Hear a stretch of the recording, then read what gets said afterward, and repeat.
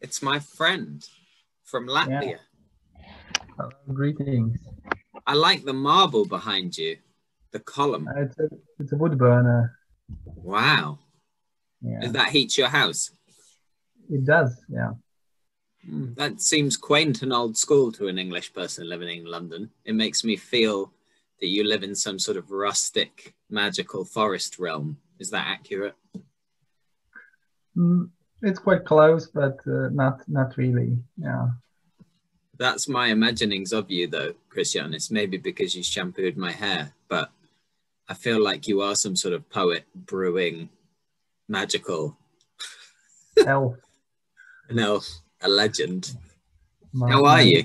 Are not pointy enough, I guess. They're quite pointy.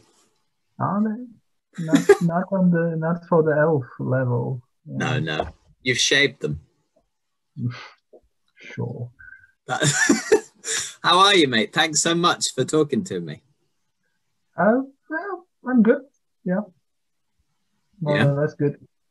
I think it would be nice to talk about your work a little bit, just because we've never really done that in depth, you and I. Um, but I'll probably just avoid. business.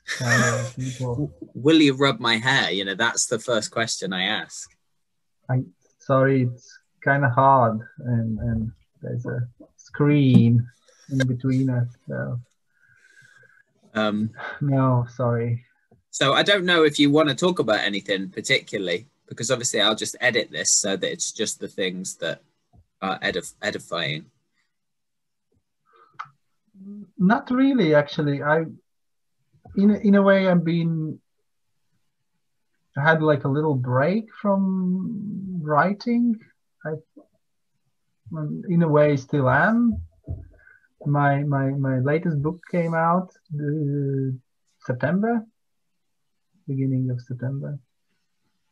Mm, and I think afterwards, I always, I mean, most writers need some kind of break from your work um, in a way it feels a little bit different this time kind of more like i'm like generally tired of myself of my writing but um, that's why i'm jumped into some other possibly projects that will become something Well, more- something sorry to, to more out of my usual um, way, text text wise at least.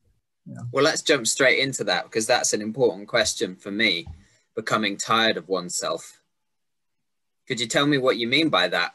Like, you just think you put so much into your last book that you you don't have any energy to to write at the moment. I do write a bit, uh, but yes, I, I feel that I uh, managed to say what I wanted to say. it doesn't mean that that's it or something that drastic, but for time being, uh, I I used it all. I mean, yeah, I don't know.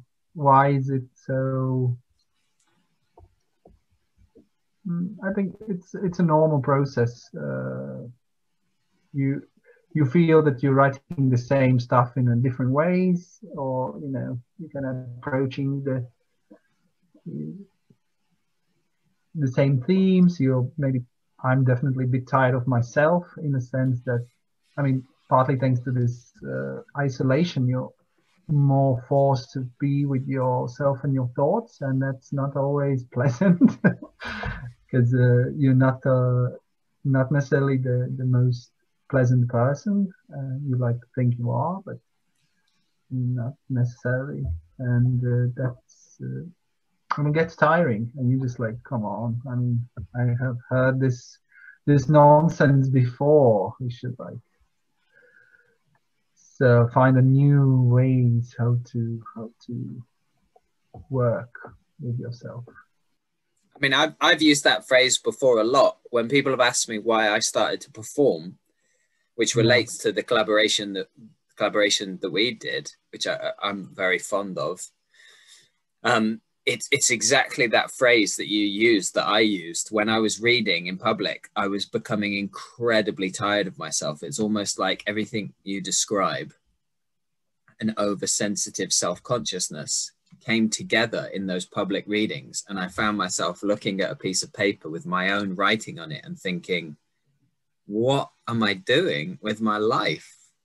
So is that something that has happened to you before in writing? Do you think it's to do with actually writing poetry? certainly, yes. Uh, I think it's poetry. Po- poetry is to blame uh, for this. Uh, I, I guess not so much in readings for me. I mean, there's been very few, anyways. But with the with the text itself, I I, I look at it from many angles, and it's just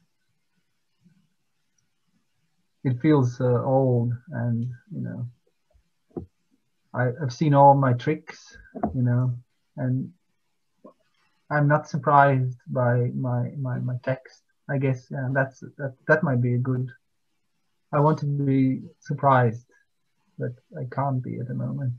So I need to uh, look for other inspirations and uh, other other projects. One one project which is um, um, I mean I'm calling it a project sounds very official and serious like there's a finance is involved or like some kind of deadlines but uh, let's let's call it a project. And uh, I'm sure you remember Nadia de Vries the, the poet from Netherlands sure yeah and we we have this uh, let's call it a project. I'll take the examples. So we we we have uh, we exchange postcards. Wow. And uh, we give each other a theme, and then you have to write a poem, and then you send the poem. And we give the theme the moment we both have received a postcard. So at the moment, Nadia have re- has received my postcard, but I haven't received hers.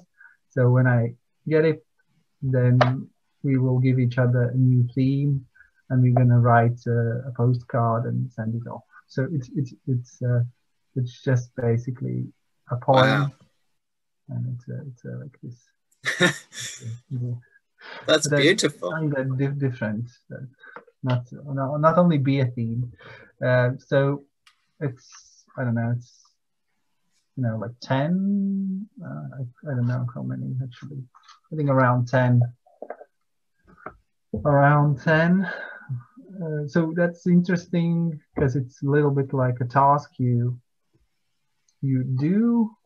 Uh, I mean, in a way you have to, not necessarily, but this nice, like a little pressure that maybe I need, this like a little push. Uh, and uh, I'm writing in English, which is a little bit different, I guess, than writing in Latvian and translating. But but also these um, these uh, events you have done have pushed me more. You know, you kind of have to uh, write in English or at least adapt to English, and uh, that's also an interesting way how to think about the language, maybe a little bit outside your usual that you know you're very familiar. I'm very familiar with Latvian, and uh, so it's nice to kind of look at the language from outside because you, as English is not my first language, you can look at the words and they are even very like simple common words. Can you can wonder uh, and have like a certain appreciation that native speakers don't because you just use it and uh, and I guess that's something I have lost a little bit in Latvian this kind of wondering about words and the beauty how they sound and that's something uh, I I appreciate now in this little project with Nadia I mean it's that it's not like it's going anywhere necessarily but it's just a nice um, I mean, it's nice to receive physical postcards, but it's also pleasant this to receive a poem. Uh, it's gorgeous. Original, yeah.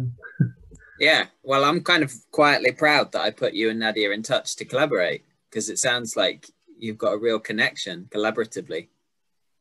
Yes, yes. Uh, I mean, I also translated some of her work in Latvian and published it um, in a in a journal here. Uh, so definitely text-wise, and also it's it, it was nice to to meet uh, her and that some kind of it, it yeah we have I don't know I feel we have some kind of connection uh, and it's nice to we gotta keep it up because after you know this collaboration ends it's hard to like you know hey what up? What are you doing? But it's not you can't really it's hard to get back to some kind of doing something together as authors you know. And i like that this kind of natural it happened naturally it wasn't like oh let's do something you know uh, just Amazing. started slowly to develop, and it's it's been nice and.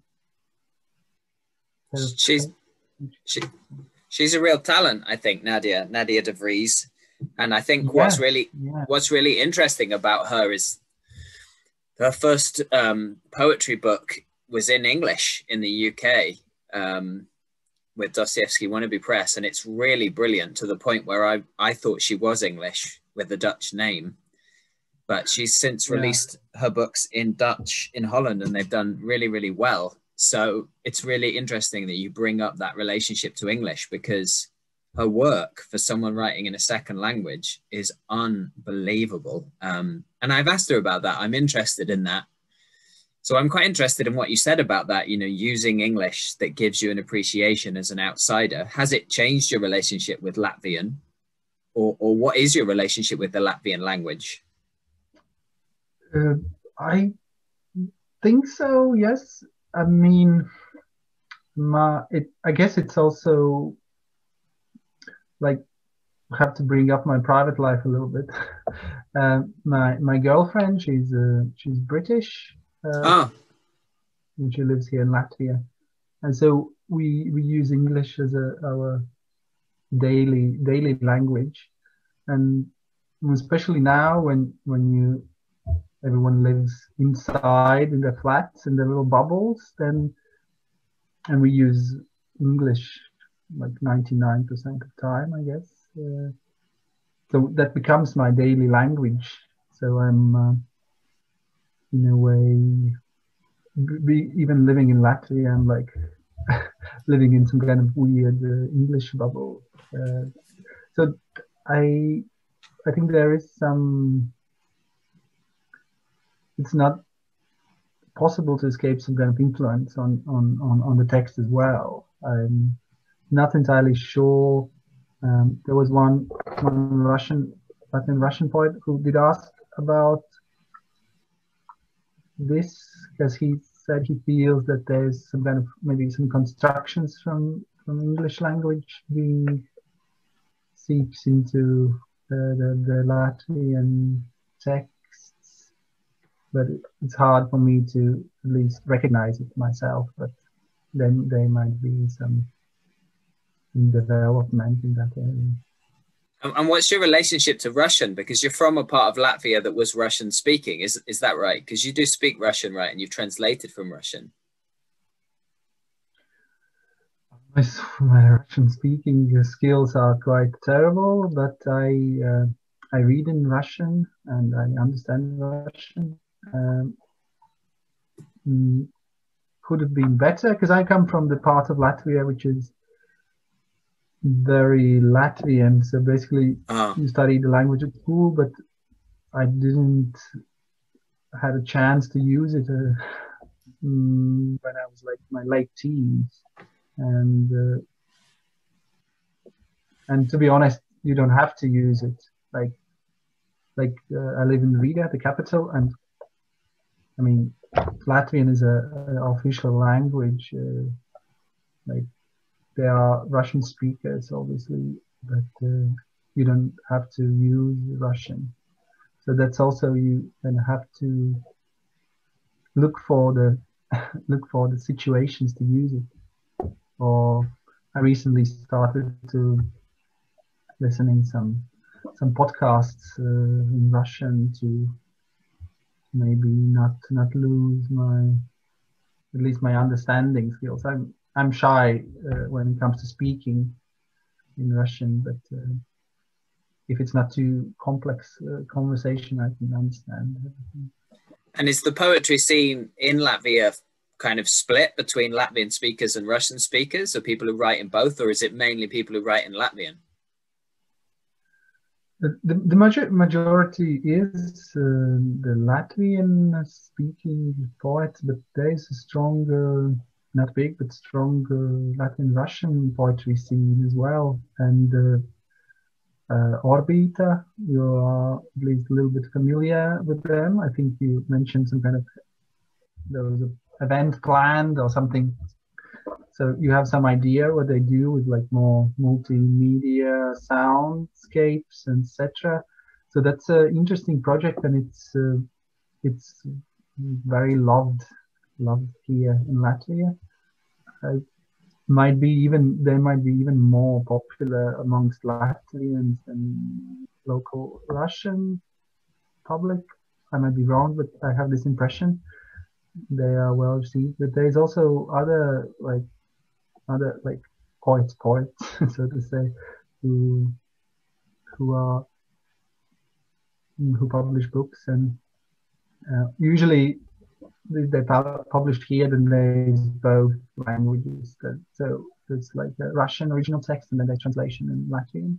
Right. It's, you can always read one and then compare, which is, uh, for me at least, it, it works uh, well uh, to to check if I did I got it right in the situation. That's amazing. Well, it's mm. impressive how good your English is, but obviously now I know it's because you've got an English girlfriend, so I can't compliment you on it as much as I would have normally because your English is unbelievably good. Yeah, it's not my fault. That's funny. So you're collaborating with Nadia. and do you think that collaboration, collaboration and collaborative practice then is different creatively than the individual projects that you've developed? And and those projects that you have developed, like your books, has it always been for the book you know? Because i know you've been writing for like 19 years. I found out online that you like published your first poems in 2001 or something like that. So you've been writing uh, for a long time. Yeah yeah. I'm uh, i'm an old horse uh, in this race. Uh, no, certainly the, the the collaboration process is, is different and uh, that that's why when it works that's why when it works it's it's uh, refreshing and you do get out something something surprising. And uh, it's like with our with our work together what we did in london i have fond memories of it because of this this surprising uh, like power like it, it brought. And it was not intended, at least. Yeah, well, you couldn't predict it exactly, uh, but yeah, it, it, it has brought uh, something um, something out uh, from a collaboration that I didn't expected to get, and this this surprise element was definitely uh, important, but also inspiring for for others and it doesn't always work. And, you know, I can't say that all of my collaborations have done or I feel that I have, they have worked. Mm, but it, it's hard to say. I'm quite uh, demanding of, of myself, uh, what I, what I like, what is, what is good, what's not. So I'm rarely satisfied anyway.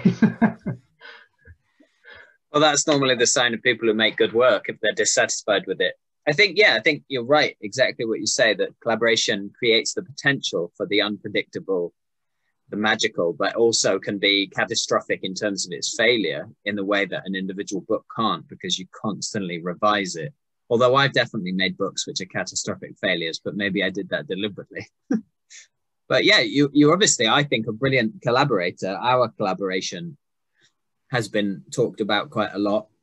I was just talking to Inga Pizāne the other day on a similar conversation interview, and she talked about it, how striking it was, and it was just the magic of the moment. And obviously, that's happened also with you and Nadia. So you seem to obviously be a good collaborator in that regard. So maybe it was something that um, that was dormant in you until these happened.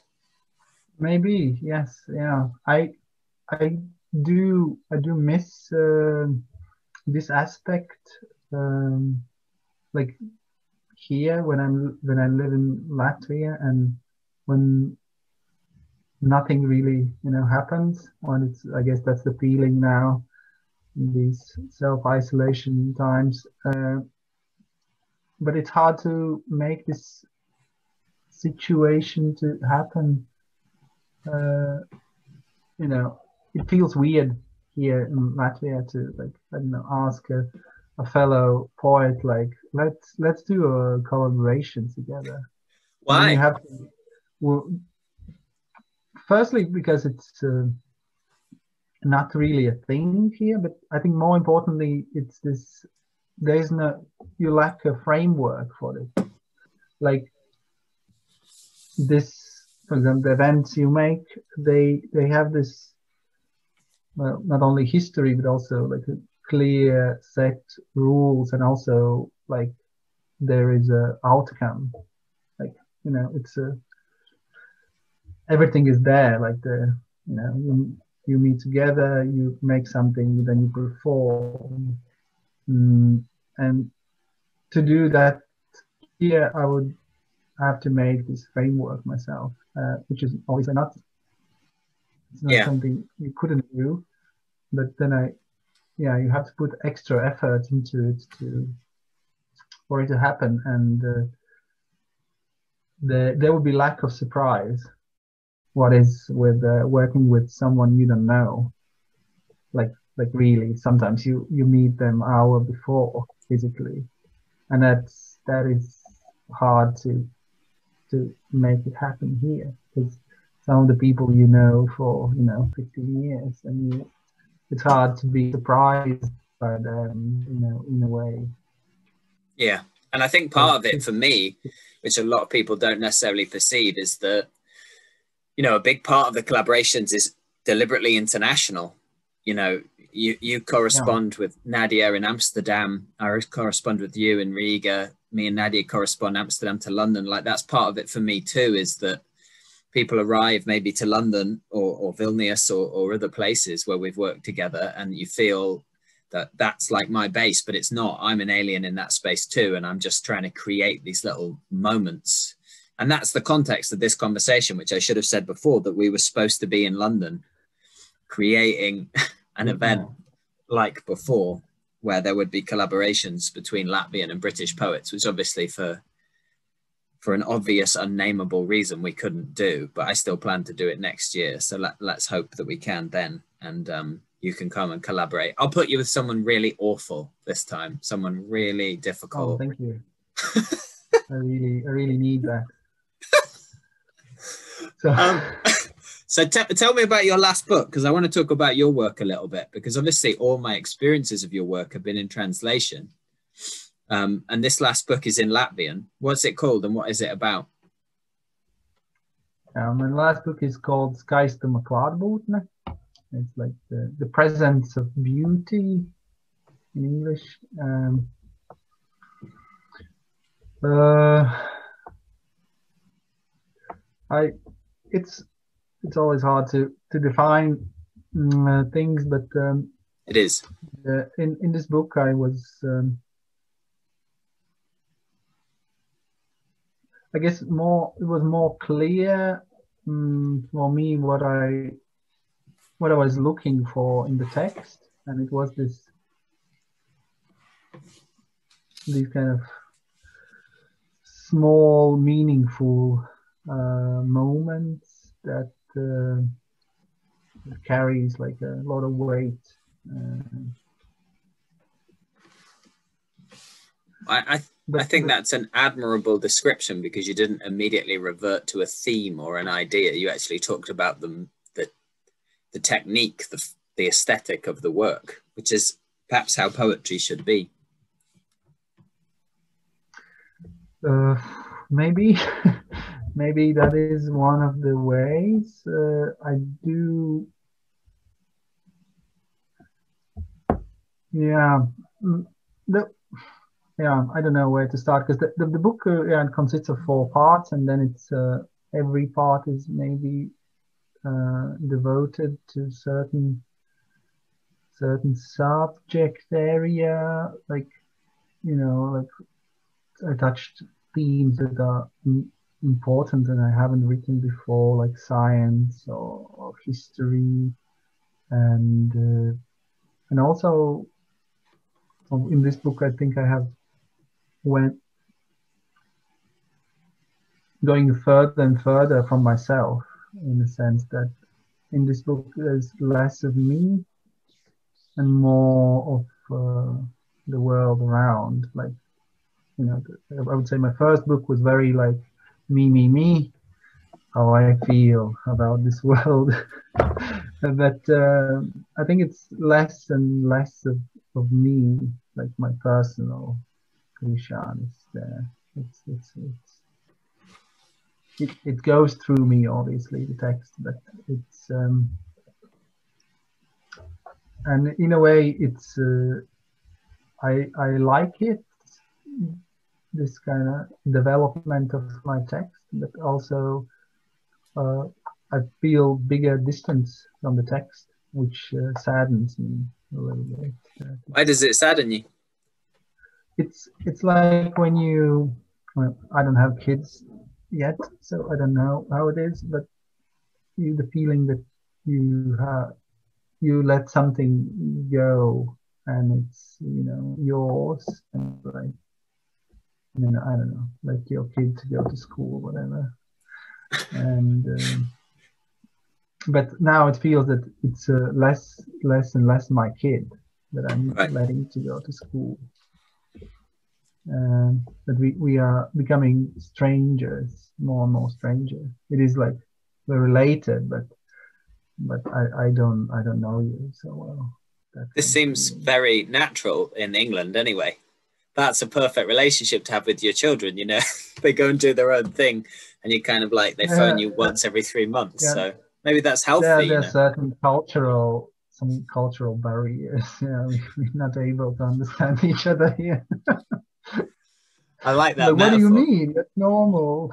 yeah, that is normal. What are you saying, Krišjānis? Are you saying that parents and children are close sometimes? What What are you saying to me? oh. Um, yeah, I think about that a lot. What you just said. Mm-hmm. Um, I speak about it a lot with people because my work is so not personal in the obvious way that I always say it's obviously personal because my name's on it. I mean, I wrote it, so it's obviously personal I created it, but I don't put the first person I in because I don't want to tell you stories about my life, you know. So the thing you're describing is like my dream. If I if I finish a book and I don't really feel like I know it anymore, then it gets back to what you were saying before where you're tired of yourself. If I don't know it, then I'm not tired of it, you know, because I get back to it and I'm like, oh, this was interesting. I was exploring this area of language or whatever. So it's really interesting to hear that you feel like you've been on a journey from the the uh, obviously personal to something that feels more objective. Did you notice that as you were writing? Like, is it something you did deliberately, or has it just happened to you over the last ten years? Because I think you published your debut in 2010. Is that right? Yeah, yeah. And my second book was um, 2016. Yeah, and then now the the third one and then was one self-published book in 2015 as well. Uh, mm, I lost the thought what I wanted to say. I was listening, I mean, to, listening to you carefully, and then I was like, okay, no, okay, no. no, I'm just interested whether it happened to you naturally or whether it happened to you deliberately. Because for me, I deliberately stopped myself from putting you know, it, the first person I. If I put the I in, I did this, then it's ironized or it's messed with. Like I, I, I literally will do it technically and deliberately, but I know other people like you're describing going through a 10 year writing journey where you start with this is me as a poet and then you now 10 years later you're like here's some language these are objective observations as poetry so it interests me whether that mm. happened to you not that uh, i would say the journey is not so drastic as you describe i mean i still it's not so artificial in a sense um, it is still very much uh, my text that, uh, that I can I can recognize it is we are related. but uh, it, it it's more gradual process. I mean, I don't. I mean, I'm speculating here, but I think when the older you get, at least to a certain age, you understand that the world is less and less about you, uh, and you know, not everything is around kind of circling around me. And obviously, ego thing as well, that voids have a strong ego for sure. That you you realize that it's not uh, it's not about you. Not everything is about you, and well, and it kind of slowly develops. Uh, I wouldn't say I. I was thinking about it like, oh, I should put less me inside. It, it gradually happened with with the maybe I became more and more bored of myself, so I had to bring in other themes to kind of like, okay, like let's. That's a that's I like this thought. Yeah, maybe it's it was already process. I recognize this boredom of myself. Yeah. Well, I don't want to compliment you because I know you probably hate that, but to me that seems the sign of a great self-intelligence to realize oh, increasingly that one is boring Uh, that's what a feeling, yeah. Yeah, I mean that's how definitely how I feel is like um, without being too deep that that the process of writing is essentially spending time alone, confronting one's externalized creations, and then in poetry you realize that will not move others in a significant way. It might move some, but not in a significant way. So then you have to confront the fact that you might be doing it for yourself which means in a way you are confronting yourself, which means if you're not an arrogant narcissist, you realize that you're ridiculous. And if you realize you're ridiculous, then you realize everyone else is. And that seems to me the point of poetry. you know, I, I do agree that there's more, like the tone is also becoming more sarcastic, ironic as well. You know, I, you know, like you said, taking taking yourself less seriously obviously I do feel a strong attachment but uh, to the text but you know it's it's funny at sometimes how serious especially when you catch yourself being very serious about your own text and you're like oh, come on like yeah yeah. That's a difficult balance right? Because if you don't take yourself seriously a bit then you end up really feeling like you're wasting your life entirely, more than normal, but just really, I've had that where I've been like, I don't care about that book at all. I don't care about this work. I don't care about this event. And in my heart, it's good for me in the moment. But then six months later, I really have like an empty space where I'm like, well, if I don't care, then why am I doing it? But at the same time, yeah. if you think you're important and you're writing important stuff, when the universe is telling us that we're definitely not, as poets, I mean, oh my God, if you're not hearing that scream from the universe, no one cares. It's 2020. If you're not hearing that, then you're deluded. So I think finding the middle bit is is the hard is the hard thing. You, you certainly have to lie to yourself, yeah, time to time. Uh, deliberately or not uh, that you know uh, just finish this one just finish this one it's going to be okay i think that's the wonder of poetry is that you can't really lie to yourself in in like an essential way you do a bit as you say like line to line but as a lifestyle overall like if you work in a in a bank or you work you know you can just say to yourself forever this is important i i'm not i'm not meaningless but as a poet, you have to constantly confront the fact that yeah. it is it is a bit like really? Am I really choosing to do this? I mean, maybe not. Maybe that's just me. I'm projecting. I'm projecting. No, no. I, this is a fam- familiar feeling that uh, it, either you're very delusional about about your importance, uh, but then sooner or later you're gonna crash and burn. You know, I mean, someone will tell like, "What what are you doing? This is this is completely trash." Or this more, yeah, time to time, kind of realizing like, yeah, no, no, no one cares. So that's okay. Yeah, it is okay. I think that's it. It is okay. Um, it's particularly interesting to ask you about that because you obviously do another job, um, which is quite a distinct job, like we were talking about earlier with your brewing. I mean, how do you conceive of poetry next to that? Because that's obviously your business, but it also must be a passion. It must be something creative and it must be something very hands on. Uh, how do you mm. see like the alterity between being a poet and also being someone who does a job like that? I I think it helps uh, helps me in the sense that I am distant from uh, text and literature, and it is not that creative. uh, it is it's in a sense a little bit glorified manual labor.